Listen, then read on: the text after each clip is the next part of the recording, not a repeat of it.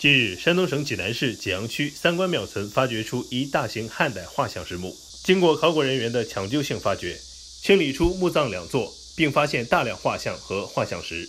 八月二十一日，记者经采访了解到，该墓葬群是由当地村民于二零一八年十二月中旬在池塘清淤过程中发现。村民随即上报文物部门。二零一九年四月，考古人员开始对墓葬群进行为期四个多月的抢救性考古发掘。随着考古工作的展开，这座水下墓葬群也慢慢浮现于世。记者当日在考古现场看到，两座墓葬较为完整地呈现在低于地面约三米的地方。这两座墓葬也被考古人员按照发现顺序进行了编号。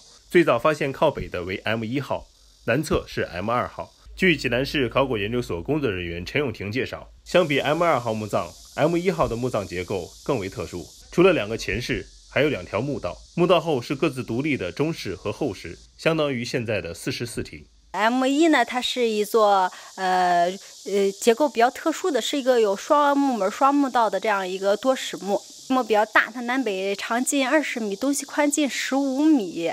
呃，它以中间甬道为作为相隔，包括了东侧墓跟西侧墓。记者跟随考古工作人员下到墓室，发现几道墓门上的画像石十分精美。部分画像石为磨光后再雕刻，线条细腻流畅。门楣上的羊首浮雕两侧分别刻有龙凤图案，栩栩如生。类似建筑、神鸟、人物图案更是层出不穷。据陈永廷介绍，此次发掘出的画像石共有五十八块，画像九十五幅，是非常难得的考古学资料。发现的这些画像石呢，它就运用了有高浮雕、浅浮雕、平面线刻等等。我们通过研究画像石上面的内容呢，我们就可以去进一步的去研究汉代他呃汉代人当时是怎么生活。比如抛出图，它就是体现了当时富家大户他的后厨的景象呀。呃，我们还发现有什么当时的楼阁建筑，画像石上是有，也可以去复原汉代的那些一些建筑呀。陈永婷说，由于干墓葬年代较为久远。在考古发掘中，也发现了被盗的迹象，暂时无法确定墓主人的确切身份。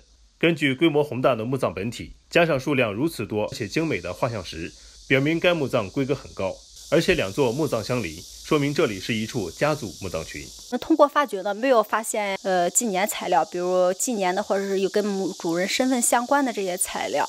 呃，我们只能通过墓葬它这本身的规模、出土的器物，以及我们刚才所说的那些呃数量巨多的画像石，来推测墓主人的身份。推测墓主人，我们跟结合以往的考古发现，呃推初步推测墓主他应该是呃当时汉代两千代的官员，肯定是没问题的。